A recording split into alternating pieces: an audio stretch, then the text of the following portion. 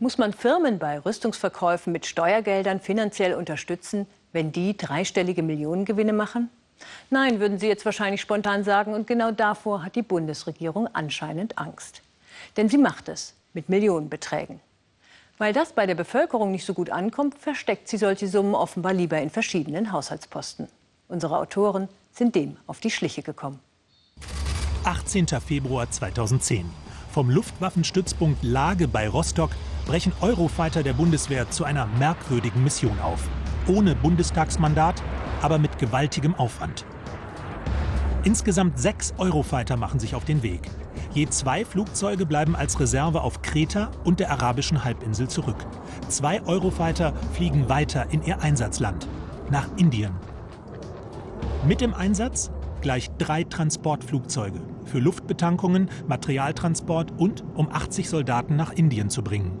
Ein gewaltiger Aufwand, aber nicht für einen Militäreinsatz, sondern für Verkaufswerbung. Der Eurofighter-Hersteller EADS Cassidian hatte darum gebeten. Worum es ging, zeigt ein internes Bundeswehrpapier, das Monitor vorliegt. Zweck der Indien-Mission waren Flug- und Bodenevaluationen durch die indische Luftwaffe. Eine Unterstützungsleistung für EADS im Rahmen einer Exportkampagne für den Eurofighter. Foxtrot, Uniform. Quasi eine Verkaufsveranstaltung, finanziert mit Steuergeldern. Die Kosten für den Einsatz werden in dem internen Bundeswehrpapier mit 13,5 Millionen Euro beziffert, ohne Personalkosten. Und wie viel davon trägt die Industrie? Vom Verteidigungsministerium dazu kein Interview. Man trickst und verschleiert. Man habe auf die Kostenerstattung teilweise verzichtet, heißt es schriftlich, aus dringendem Bundesinteresse. Nur mit Hilfe unseres Bundeswehrpapiers lässt sich errechnen, dass EADS allein für diese Mission mindestens 12 Millionen Euro geschenkt wurden. Es ist nicht Aufgabe der Bundeswehr, die Geschäfte der deutschen Rüstungsindustrie zu unterstützen und mitzutragen. Dafür wird sie nicht bezahlt. Das steht auch weder im Grundgesetz noch sonst wo. Rüstungsexporthilfen auf Kosten der Steuerzahler? Seit Jahren wirbt die Bundesregierung massiv für den Eurofighter. Zuletzt die Bundeskanzlerin im Mai dieses Jahres in Indien.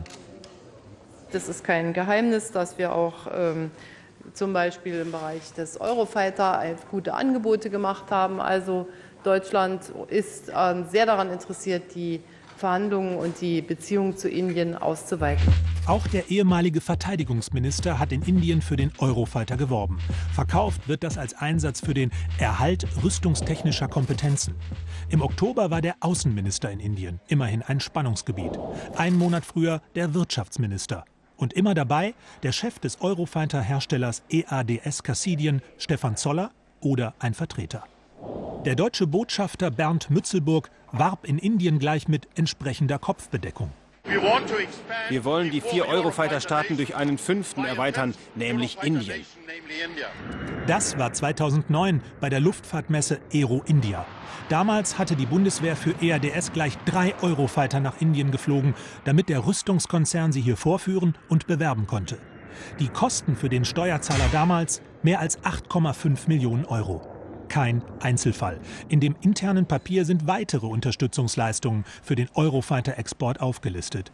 Darunter mehrere Teilnahmen an Messen und Luftfahrtausstellungen, Begleitungen bei Waffensystempräsentationen und Einsätze zur Ausbildungsunterstützung. Zumindest die Arbeitskosten trägt dabei praktisch immer die Bundeswehr. Und um all die Hilfen für den Rüstungskonzern EADS zu koordinieren, wurde im Ministerium eigens ein Stab eingerichtet, die Arbeitsgruppe Eurofighter Export.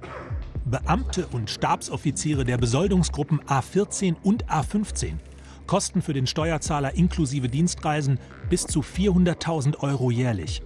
Doch nicht nur EADS wurde in den letzten Jahren von der Bundeswehr unterstützt.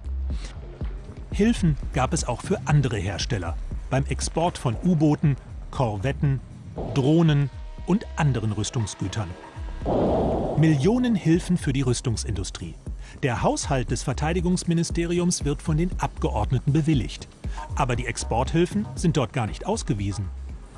Wenn Subventionen nicht ausgewiesen werden, dann werden zum einen die Abgeordneten getäuscht, aber auch die Steuerzahlerinnen und Steuerzahler werden getäuscht und ihnen wird nicht gesagt, wofür ihr Geld verwendet wird. Wenn dann weder der Verkäufer noch der Käufer vollständig diese Kosten übernimmt, sondern der Bundeshaushalt und damit der deutsche Steuerzahler, dann legt das den Verdacht nahe, dass hier Haushaltsgelder sachfremd verwendet werden, man kann auch sagen missbraucht werden und dass damit auch das Geld des Steuerzahlers an dieser Stelle verschwendet wird. Täuschung?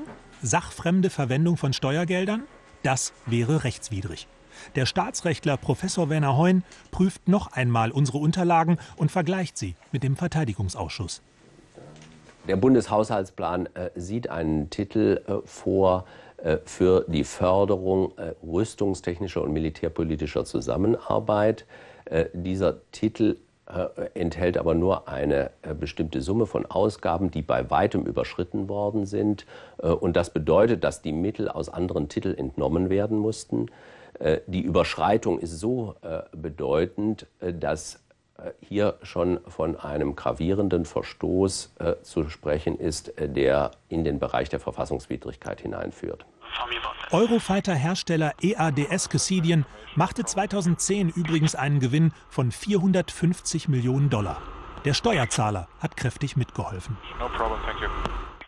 Sie haben es gehört, ein Jahresgewinn von 450 Millionen Dollar durch den Verkauf von Eurofightern.